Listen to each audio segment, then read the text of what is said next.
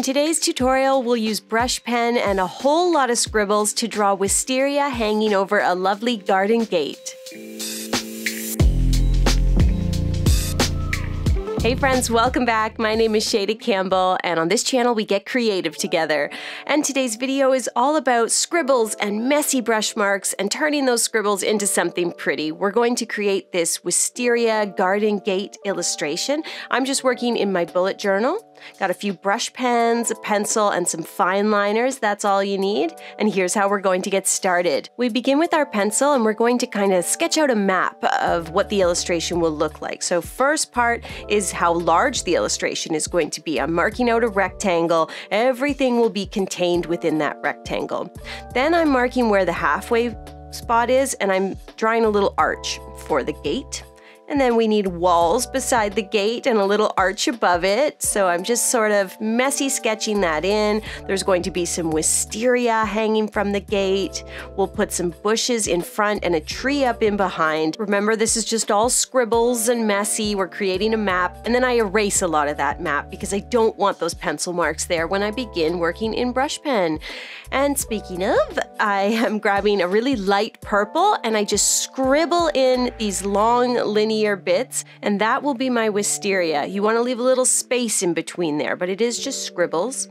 Then I'm using a lighter brown and I'm going to just do some long, thin lines, very scribbly, to color in that door.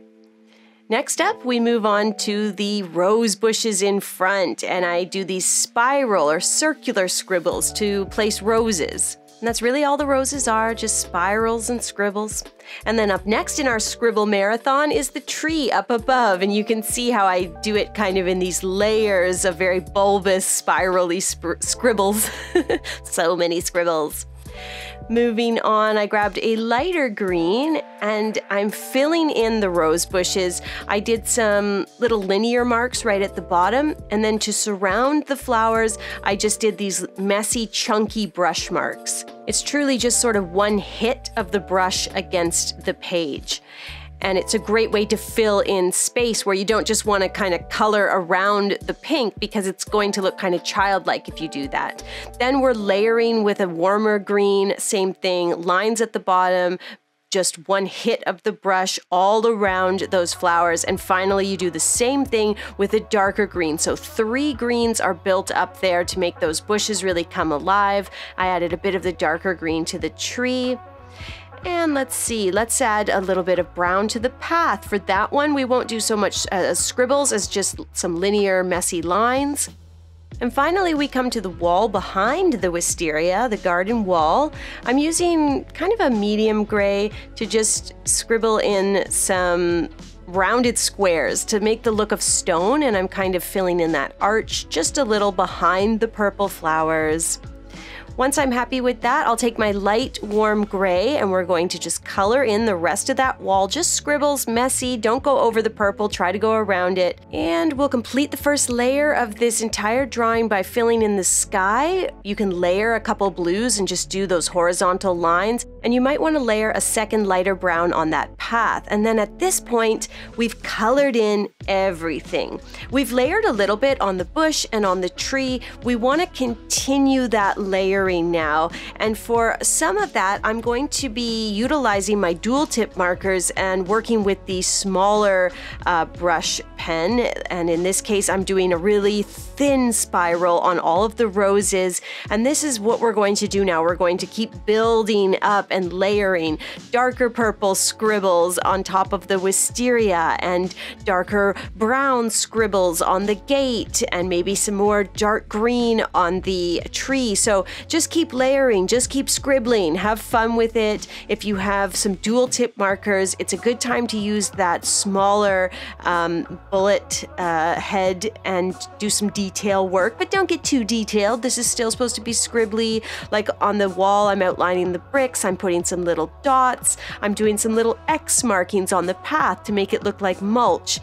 These are the little fun choices you get to make as the artist. So just have fun and scribble your little heart out.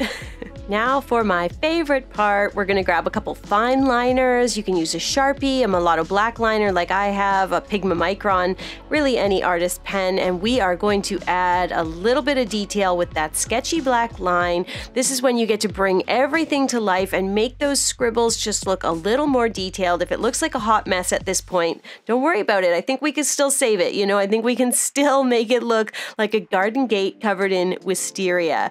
We're going to outline the frame that we initially sketched in. We're going to outline all of the roses with a little circle or rough spiral. I'll add some detail to some of the bushes by drawing in some leaves. I did some sketchy bits on the gate. I'm adding a bit of shading just with some long, thin lines at the bottom of the garden wall and drawing some little scribbles on the wisteria you know, I'm really just getting very sketchy and messy about it and a little bit crazy, and, and I'm having fun. And anywhere I need a little more dark green, I can add that in, and I just bring the whole drawing to life at this point.